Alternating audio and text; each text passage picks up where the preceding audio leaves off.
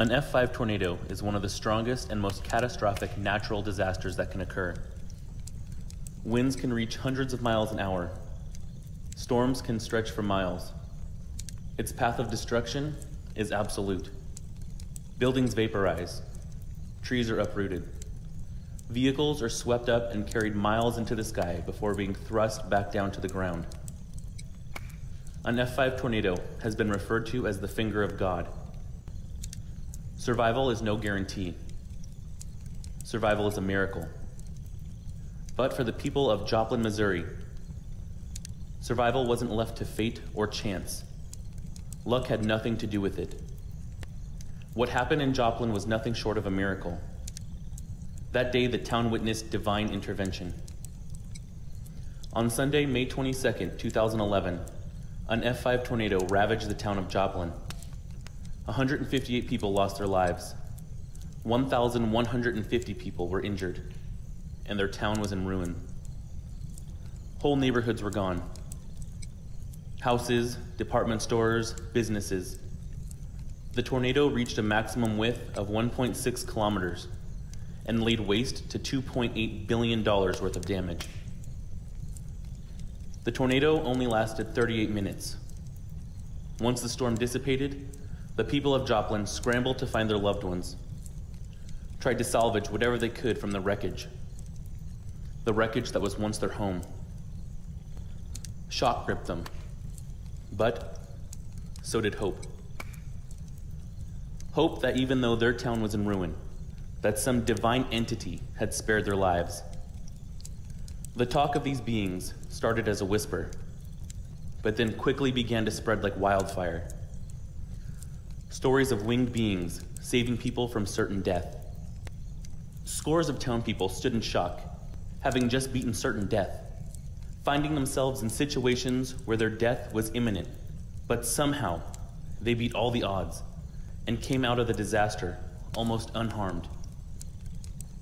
Children all over Joplin were talking about the butterfly people. Beautiful humanoid creatures with butterfly wings that not only protected them, but also ushered those that didn't survive up into the sky. The story spread to hospitals, shelters, waiting rooms. More and more people, mostly small children, shared their stories of the butterfly people. A young boy and his father were in a car when it got caught in the tornado, and they were being whipped around. All of a sudden, they saw another car flying towards them. Death was almost certain but death never came. In fact, the car never hit them and seemed to have been moved out of the way all on its own. The little boy told his dad that two butterfly people were holding the other car back. The father never saw the butterfly people, but he did see how the other car moved out of the way. He said it was a miracle. Another little boy was found out in a field by a sheriff six miles from his home. The sheriff checked him, and he was perfectly fine. Not one single scratch on him.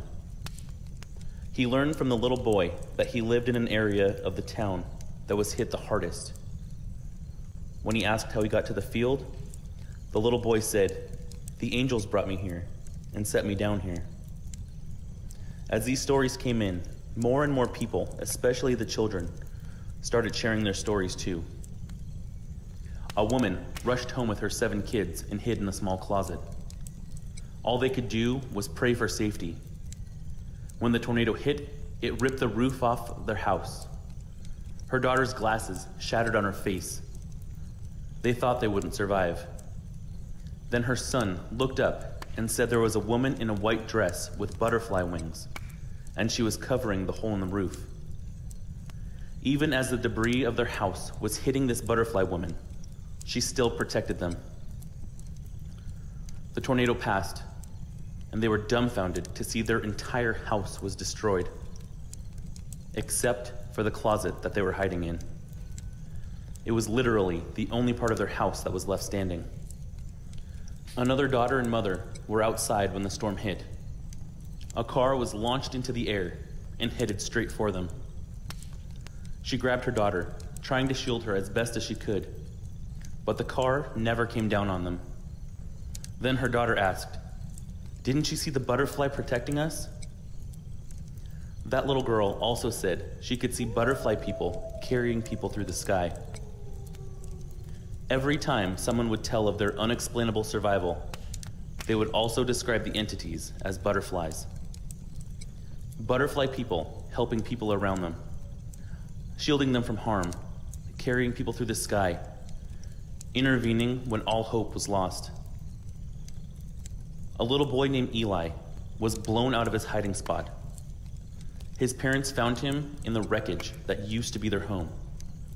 He was wrapped up like a burrito in a green rug. It wasn't their rug. In fact, they have no idea where the rug even came from or how he got into it. But Eli told them the butterfly people put him in there. Pastor Wormuth recounted his experience that night where he and some of the residents took shelter in the church and went down to the basement for safety. They were all trapped when all four walls of the church collapsed into the basement. They were saved by six very large men that none of them had ever seen before. They lifted the walls away, and the survivors walked out. Then those men walked away, saying they had more people to dig out. They weren't rescue workers. In fact, when the actual rescue workers arrived, they were dumbfounded by how the churchgoers even got out. They all saw the six men, and all their stories matched. The rescue workers were in disbelief. Six men couldn't have lifted those walls. They were just too heavy. Another thing about that church that collapsed that's fascinating the only thing that didn't collapse was the cross outside that was left standing. People from different religions, ages, socioeconomic backgrounds, they all saw the same thing, and they all reported white lights around them. A father and his two sons were trapped in the tornado's winds, and they were unable to find any cover. They were covered by the tornado. The father described the winds as so intense that the soles of his shoes were ripped off. But somehow, all three of them stayed grounded. They weren't hurt at all. The father was in disbelief. He couldn't even fathom a reason that they survived. Until a few days later, when he talked to his sons. They both described tiny people that looked like butterflies that hovered over them during the tornado. These are the people that they believe protected them. Yet another little girl described the same thing when the tornado passed right over the car that she and her father were in. She claimed there were tiny little fairies in the car, and they were there only while the tornado passed directly over them. Lage Grigsby was actually taken to the morgue when his body was found. He and his cousin Mason were both thrown more than 300 feet across the Home Depot parking lot when their grandparents' truck was hit by the tornado. Mason was impaled by a metal rod. If that rod had went an inch in either direction, she would have died. It went through her right shoulder, broke seven ribs, and punctured a lung. Any further over, it could have severed her spine. In the other direction, it could have impaled her liver. She's a miracle. Her cousin, Lage, suffered near fatal head injuries before he was thrown from the truck. Yet somehow, they both survived. It was actually an ER nurse named Tracy Dye that found Lage in the morgue. She had heard about the devastation the tornado had caused and rushed to the hospital to help. She went to the morgue first and just happened to touch Lage's arm. He woke up and screamed out. Tracy ran to get a doctor and they got him out of the morgue. She stayed with him until his surgery, that lasted six hours. Mason saw the butterfly people with her and her cousin that day. She has no doubt in her mind that they were angels. As the storm approached, their grandmother had urged them to pray for safety, and they did. Mason saw the butterfly people just before the storm hit and felt them touch her shoulder after she was injured. I thought it was Lage, she said. But when I turned, I saw two angels in robes one with brown hair and one with blonde hair. It was kind of calming. I knew God was with us, and He'd either take us to be with Him or leave us to do something great. Lage and Mason were only two of 25 surgeries performed that night. All 25 of these surgeries were considered emergency surgeries. They were described as life literally hanging in the balance. 1,750 patients were treated the first night. The power was run off generators. No phones, no internet, only a limited supply of water. One of the nurses helping also saw the butterfly people. She saw them wrapping her wings around people to help comfort them and protect them. She described them as larger than humans, but with wings. She treated a man with a wooden stake in his chest, although there was nothing she could do for him. A butterfly person was there comforting him the entire time. When he died in that nurse's arms, the butterfly person was standing with them. She said she saw many butterfly people walking around that night. Another survivor that experienced the butterfly people was Emily Huddleston. She was 13 when the tornado hit and on her way back from her brother's high school graduation. The tornado blew the car several blocks and her thigh was impaled by pieces of debris. The wound was to the bone. It took two months for her to recover. Once she left the hospital, she started noticing butterflies seemed to be drawn to her. They would land on her all the time. She told interviewers, I think it's a sign the angels were there that night. We're being watched over. Now the town is rebuilding, mourning those that were lost, but knowing they're in a better place. They firmly believe that something was there that day to protect them. And many of them believe it to be guardian angels. A mural called the Butterfly Effect Dreams Take Flight is painted on the side of the Dixie Printing Building on the corner of 15th and Main. So that's the story of the butterfly people of Joplin, Missouri. Whether you believe the beings that saved so many people that tragic day were angels, extraterrestrials, or something else is up to you. But it doesn't matter if you're Christian, Catholic, atheist, Muslim, agnostic, Buddhist, or something else. There's no denying that something or someone stepped in that day and spared the lives of all of those people.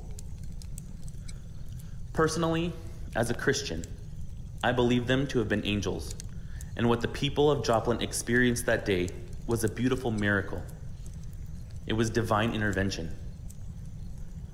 But this isn't the only time or even the first time, a winged creature has been spotted around tragic events. Need I remind you about Mothman? Probably not. But if you need the reminder, Mothman was seen by countless people in Point Pleasant, West Virginia from November 12, 1966 to December 15, 1967. Although whatever it was was terrorizing the locals, many people still hold to the belief that the Mothman was an angel or a harbinger, giving the warning of the collapse of the Silver Bridge. The bridge collapsed during rush hour traffic and resulted in the deaths of 46 people. It was also reported in 1986, just before the Chernobyl disaster, that a winged man was sighted. And during the horrible tragic events of September 11, 2001, there were reports of angels in the smoke and ash as the World Trade Center towers collapsed. There's incredible accounts from scores of onlookers that witnessed people jumping to their deaths to avoid the fires. These people claim to have seen flashes of light, like something had opened up in midair. It's believed by many that these angels were appearing to take the poor souls up to heaven. In 1978, a group of miners in Freiburg, Germany, witnessed a man standing close to the mine. At first, they thought he was wearing a trench coat until a couple of the workers walked up to him and realized the trench coat was actually a set of gigantic wings. This entity, whatever it was, let out a series of ear piercing shrieks that reminded them of a train's emergency brakes and men all screaming at the same time. Naturally, and I don't blame them, all these guys ran away from whatever this thing was and only watched from a safe distance. This entity stood near the entrance of the mine and didn't move, so the miners didn't go into the mine that day. They just started to clean around the area, trying to keep busy, but also keep away from whatever this thing was. Around 8 a.m., that mine experienced an explosion, and the explosion was so powerful it shook the ground underneath their feet. When the miners ran to the mine, they realized the winged entity was gone and the mine was on fire. When the smoke cleared, it was revealed that should the miners have been inside that mine that day, instead of keeping their distance from whatever that thing with wings was, all 36 of those people would have died. This entity is now known as the Freiburg Shrieker and was the sole reason that the miners were saved that day. Then, in California, on October 25th, 2010, a man named Tim saw what he thought was an angel too. He described this man as having wings, but not the wings of a bird, more like the wings of a butterfly.